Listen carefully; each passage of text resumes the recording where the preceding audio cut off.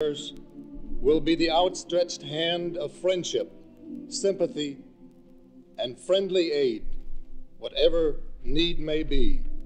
For these intentions and for all the intentions of those of you who are listening tonight and praying with us and those here in the studio, let us kneel and let us pray. In the name of the Father, and of the Son, and of the Holy Ghost, amen. I believe in God the Father Almighty, creator of heaven and earth, and in Jesus Christ, his only Son, our Lord, who was conceived by the Holy Ghost, born of the Virgin Mary, suffered under Pontius Pilate, was crucified, died, and was buried. He descended into hell. The third day he rose again from the dead.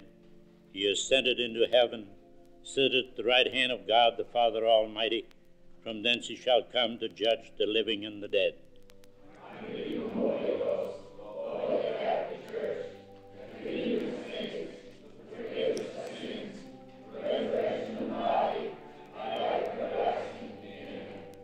Father who art in heaven, hallowed be thy name. Thy kingdom come, thy will be done on earth as it is in heaven.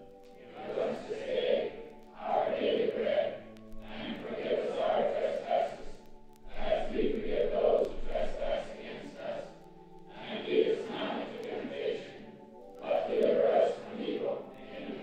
Let us offer the first three Hail Marys for an increase of faith, hope, and charity.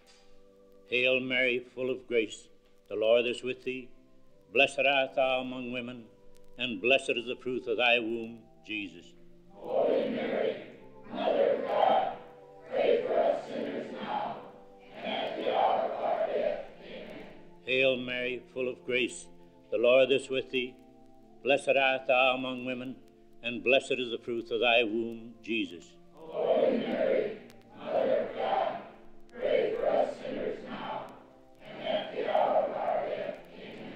Hail Mary, full of grace, the Lord is with thee.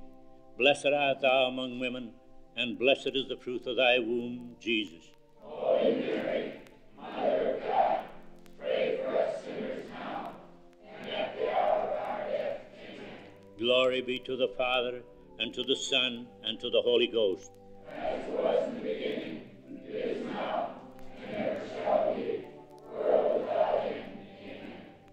us meditate on the five first joyful mysteries. In the life of the Blessed Virgin, the five joyful mysteries tell about the birth and childhood of Jesus. They remind us of the joys that the divine child and Mary had together. The first joyful mystery, the Annunciation. God sent his archangel Gabriel to a girl whose name was Mary. She lived in Nazareth. The message was that God wanted her to become the mother of his son Jesus.